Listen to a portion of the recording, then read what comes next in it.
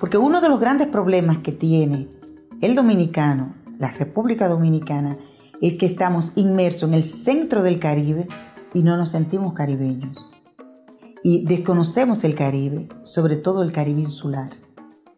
Y por eso el Centro de Estudios Caribeños ha creado estos dos programas, el doctorado en Historia del Caribe y la maestría en Estudios Caribeños.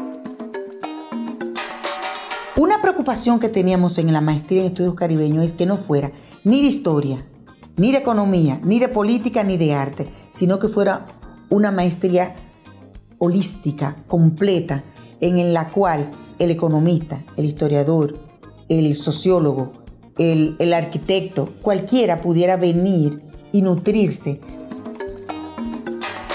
El egresado de esa maestría podría trabajar en, el Ministerio de Relaciones Exteriores, podría trabajar en el Ministerio de Cultura, podría dar clases en las universidades, podría hacer muchísimas cosas, podría trabajar incluso como relacionista público de algunas empresas. O sea, tiene muchas eh, salidas eh, profesionales.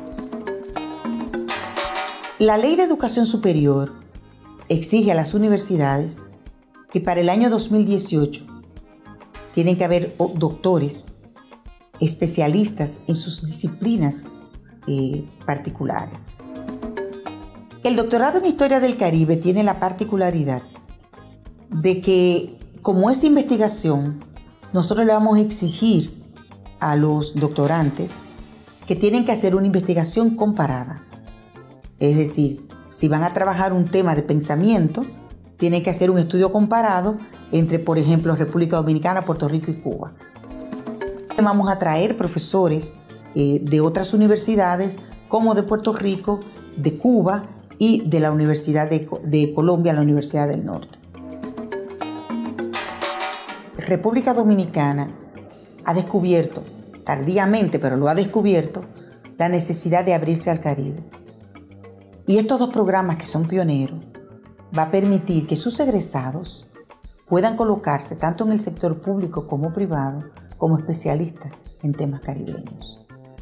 Pero además de esto, van a salir formados y vinculados con esa red de universidades que la universidad tiene vínculos académicos para que sus estudiantes puedan ir allá a estudiar. Así que el egresado va a salir bien formado, con vínculos institucionales, pero sobre todo con oportunidades únicas en el mercado laboral. Nosotros tenemos que ser, ser, ser y sentirnos caribeños Nadie nos va a trasladar la isla. La isla no se puede mover al Pacífico porque la isla está anclada en el corazón del Mar Caribe.